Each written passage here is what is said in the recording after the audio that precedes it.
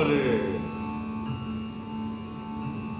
È Pietro Damiani. No, no, maestà, è un monaco di Cluny che accompagna l'abate.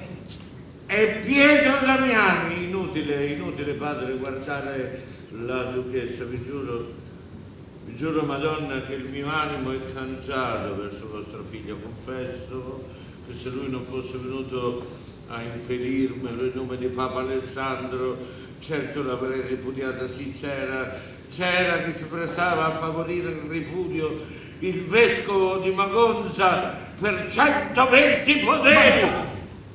È proprio un omaggio all'arte del teatro, lo ha detto proprio lui in un'altra intervista che ha fatto, perché è in, in questo spettacolo non solo Pirandello teatro nel teatro, ma teatro nel teatro nel teatro, quindi all'ennesima potenza, perché vedrete che in scena ci sono come dei camerini, per cui gli attori sono attori di oggi che si truccano da attori degli anni venti che poi si, si travestono da attori del Medioevo, per cui è l'apoteosi del teatro nel teatro.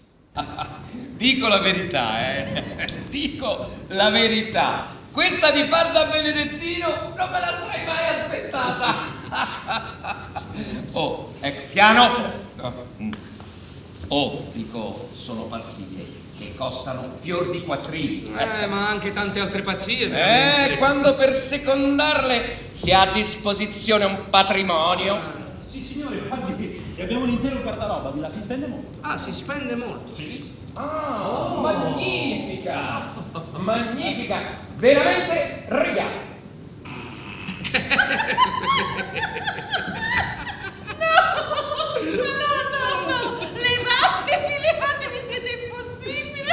Sembrate un procione vestito da Eh, guardate il dottore! Eh, vabbè, pazienza. Eh, Pirandello ha avuto un caso di pazzia molto grave in famiglia, la moglie, che già quando i figli erano piccoli ha cominciato a dare, ahimè, segni di squilibrio.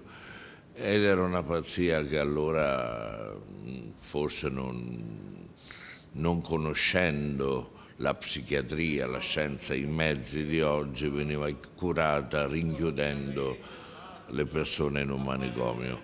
La moglie di Pirandello è stata in un manicomio per 39 anni fino al giorno della sua morte. Fra l'altro, casa di Pirandello a Roma è vicino a casa mia e il palazzo dove c'era questo manicomio è sulla stessa strada dove abito io, quindi facciamo un bellissimo triangolo della pazzia, io, Pirandello e sua moglie. Ma dico, se si nasce e si muore, nascere, monsignore, voi l'avete voluto, io no. E tra l'un caso e l'altro, indipendenti entrambi dalla nostra volontà, quante cose avvengono che tutti quanti vorremmo non avvenissero e a cui a malincuore ci rassegniamo. Sì, purtroppo. Questo sangue è mio domani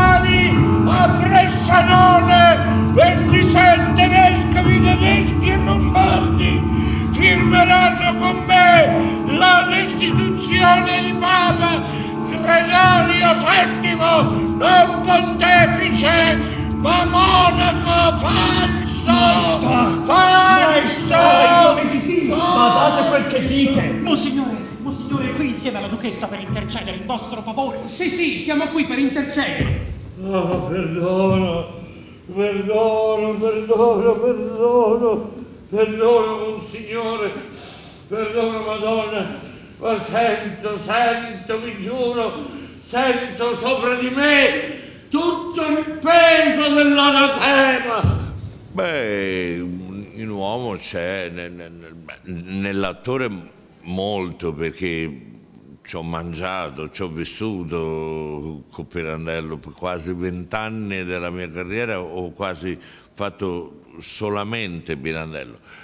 Sebastiano Uomo c'è sicuramente la conoscenza, una, dire, un aiuto alla, a una maggiore conoscenza del prossimo che incontro, ad avere quella lente di ingrandimento che ha Pirandello nella, nel conoscere gli altri, nell'entrare nell'animo degli altri. Insomma, la psicologia eh, che, che Pirandello mette in tutte le sue opere mi aiuta a conoscere meglio il prossimo e, e da qualcuno di questi guardarmi bene. Penitente, e così resto, vi giuro che ci resto finché egli non m'abbia ricevuto, ma poi, poi dopo la revoca della scomunica voi dovreste implorarmi questo dal Papa che non può distaccarmi da là e di farmela vivere tutta questa mia povera vita da cui sono escluso. non si può avere sempre 26 anni, Madonna. Ecco, ecco solo questo, sono, sono nelle vostre mani.